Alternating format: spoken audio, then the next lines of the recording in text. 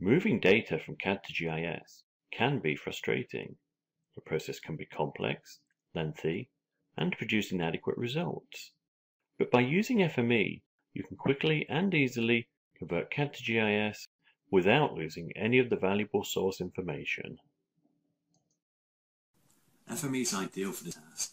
It supports nearly 300 different spatial data formats and it can transform and modify your data while it's being translated.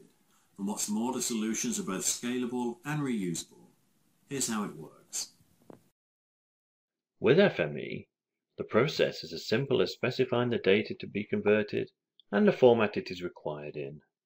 The format can be one of the many CAD, GIS, database, raster, and other formats supported. In this case, the conversion is to an ArcGIS file geodatabase, common GIS format.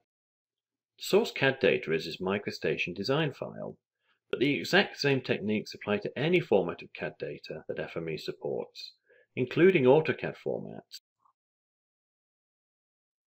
On the surface, FME is a visual tool. Once the CAD data has been analyzed, a graphic representation of the translation is created.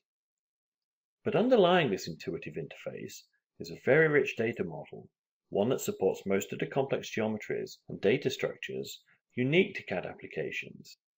This ensures a lossless translation that to a minimum of user intervention.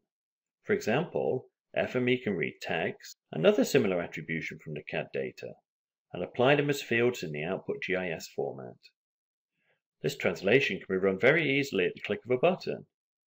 Because the translation model can be saved for future use, it's very simple to run it again and again, even reading a different CAD file each time. FME also allows transformation of the data, for example renaming fields on the output. Additionally included are a set of transformers for modifying the data during translation. Because there are over 400 different transformers, FME is a very powerful data manipulation tool.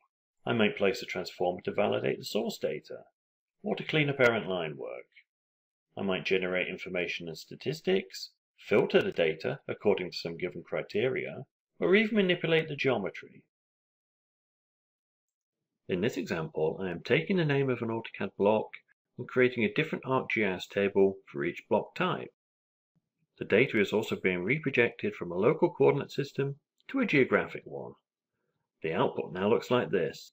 It contains all of the required data and is ready to be used by the GIS personnel without further editing or cleanup.